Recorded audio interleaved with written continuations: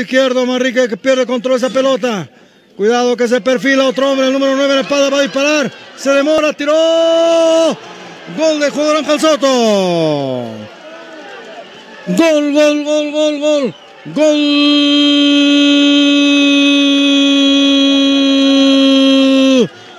del Club Deportivo Vianey de Huancavelica. Un nuevo intento. Bola metida. Queda cabezazo de gol. Gol.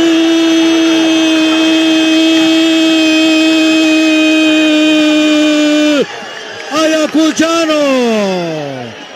Gol de Depor Cáceres.